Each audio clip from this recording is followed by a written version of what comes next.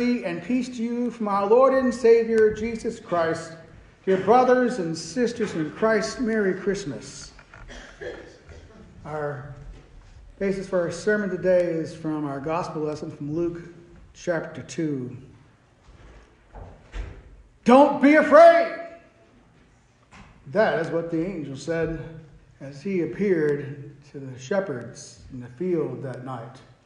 Of course, if you're sitting out in the middle of a dark field and there are no city lights or anything like that, and all of a sudden, boom, there's an angel.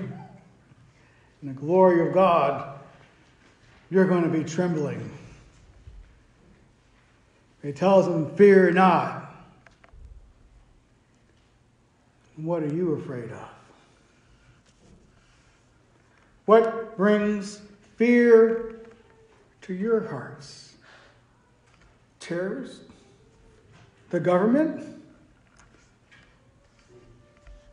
Sports? Your spouse?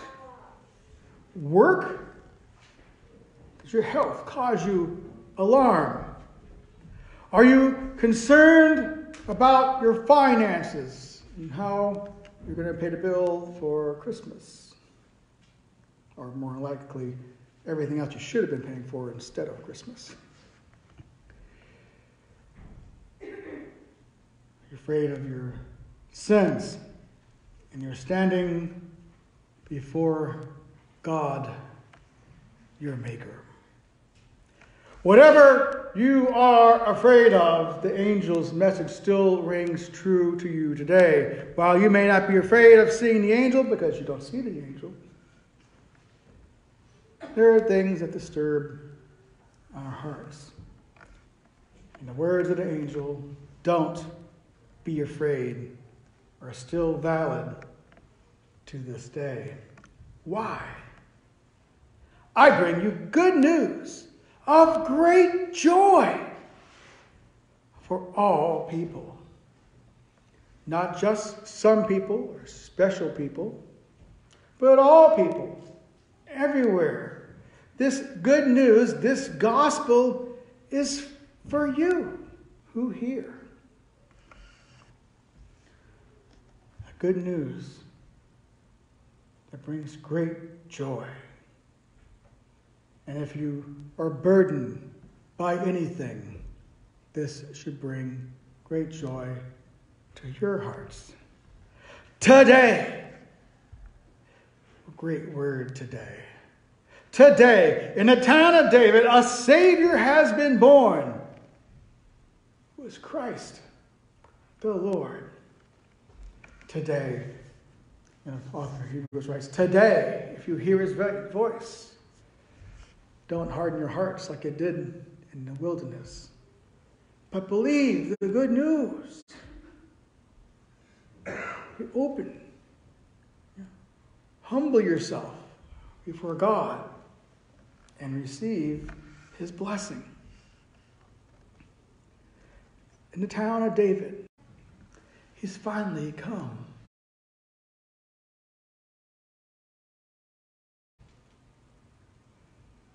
He's in, you know, he's the seed of David, that promised seed that we've been hearing about throughout Advent.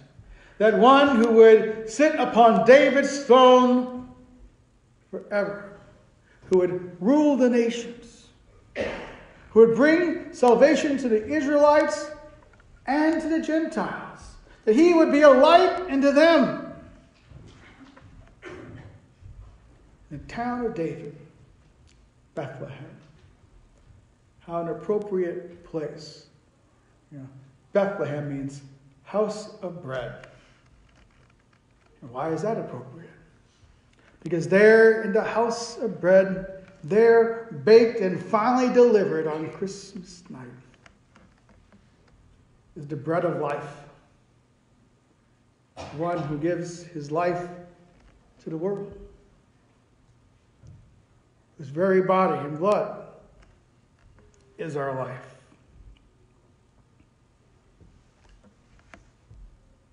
He is the Lord. Besides being David's descendant, he is the Lord, the seed of the Virgin, conceived by the Holy Spirit.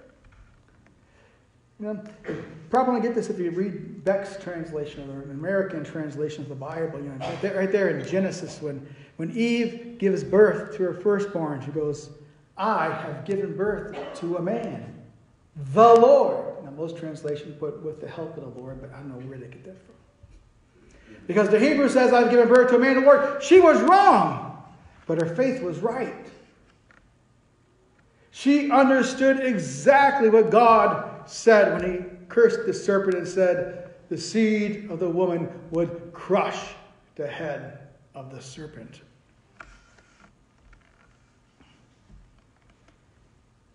But it wasn't Cain, and she wasn't the virgin. It would be Mary and her seed, formed into a man, receiving the person, the, the Son of God.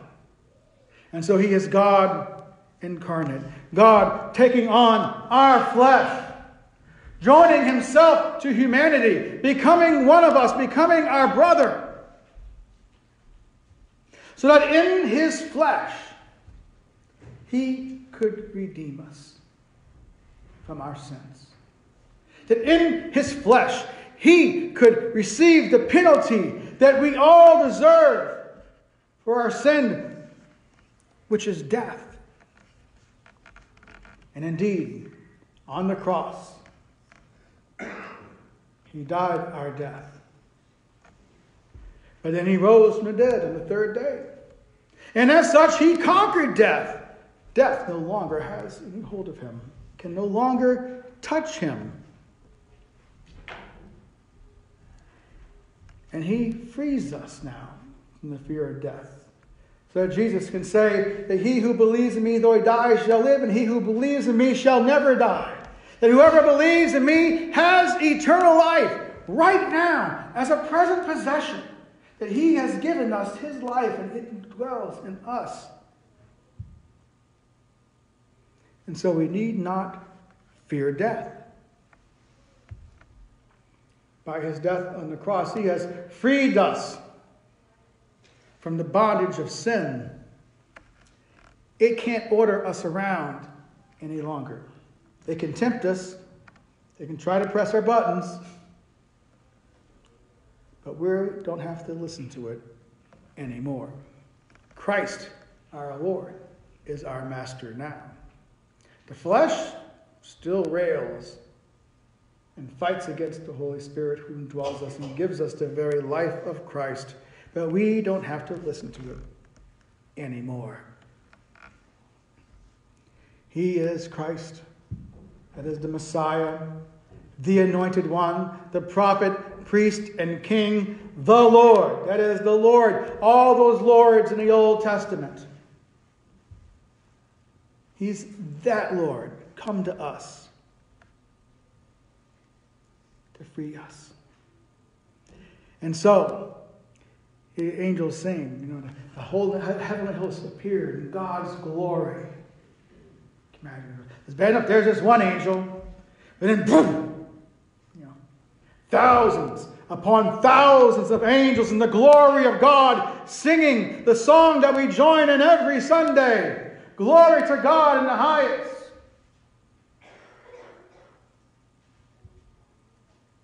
And I'm quite certain you're after always looking for the Christmas star. You know, it's like, you're not going to find it.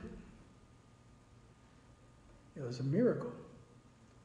The Magi and Easter were always watching the skies. They, they saw it from afar, the glory of the Lord there. They, they thought it was a star. So bright it was there in the sky. Then it went away. They said, We got to go find out what happened over there. We'll get to that on January 6th. Glory to God in the highest. And on earth, peace to men whom his favor rests. Peace on earth, goodwill toward men. Yes, that is what this Jesus was born to bring about peace on earth. We have sometimes a hard time seeing it out there. Like, you know, we're still in Afghanistan. We're still in Iraq. We're still in Germany and Japan.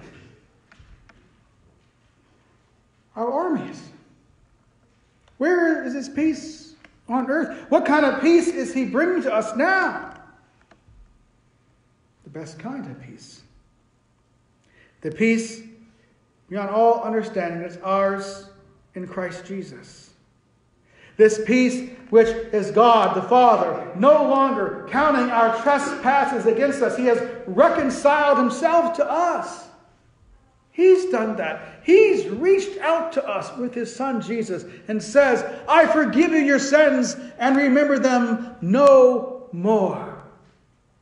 That we can stand boldly in the blood of Christ in his name and come before God our heavenly Father with confidence to bring before him whatever is going on in our lives and be assured that he hears us. Before we even open our lips, he promises that the answer is on the way. That's the best kind of peace. When you have peace with God.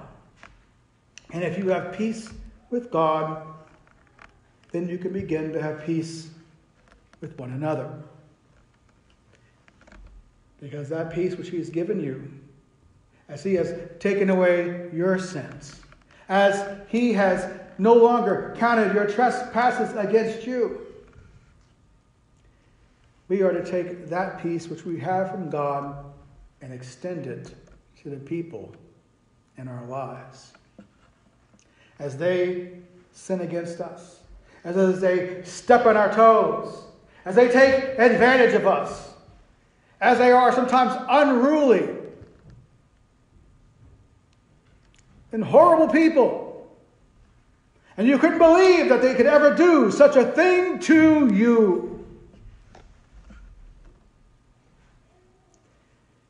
And yet, our Father in heaven goes, I can't believe you would do such a thing to me. But I have forgiven your sins for Christ's sake. I have removed your trespasses before, against you for Christ's sake. I have reconciled myself to you for Christ's sake. Go do the same. And there are those who trespass against you, who sin against you, who hurt you, who step on your toes, who steal from you, who physically hurt you and abuse you. To people who stab you in the back, it hurts your feelings. Whatever it is that makes you disturbed and they're around. That same peace which God gives to us, He calls us to give to those who sin against us, who hurt us. It's not our forgiveness that we're giving them. So you can't say it's a hard thing to forgive. I'm not asking you. I'm asking you to extend to them the peace of Christ. That same peace, that same forgiveness, that same love that God has given to you in Christ Jesus, you give to them for the sake of Christ Jesus too. It's yours to give. And if you give it away, don't worry, there's more to come. You can't sin so much that God's that Christ Jesus' blood cannot cover it. For that is why he came into the world. That is why he was born in the flesh